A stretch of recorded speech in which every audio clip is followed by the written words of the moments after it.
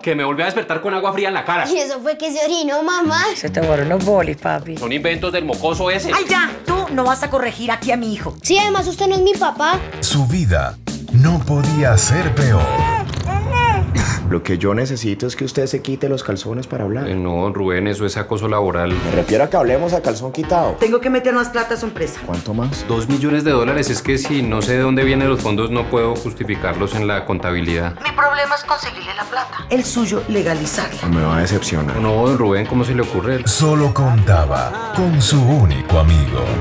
Pero qué genio. ¿Usted cree que yo no me he dado cuenta que esa vieja le mueve el piso? ¿Por algo le hizo contratar? Yo creo que usted le quiere hacerle la vuelta del DJ. ¿Qué vuelta del DJ?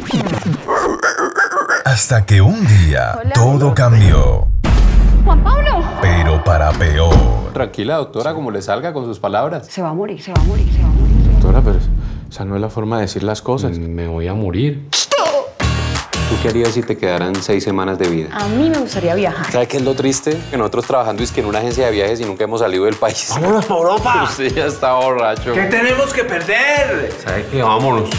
Y ahora quieren vivir lo que siempre han soñado. Nos vamos a gastar hasta el último peso. Aunque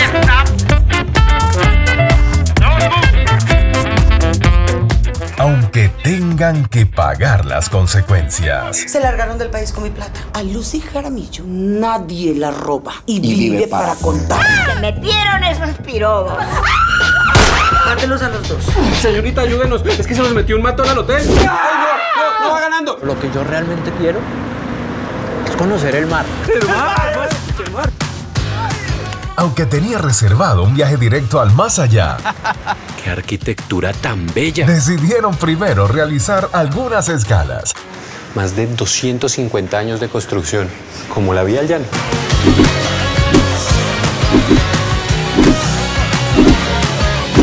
No andaba muerto, estaba de parranda. Voy a morir. ¡No voy a morir! ¡No voy a morir! Usted tiene que morirse, sobre todo por el relajo que se armó allá en Colombia. ¡Saque los rostros! Estreno 2 de enero, solo en cines.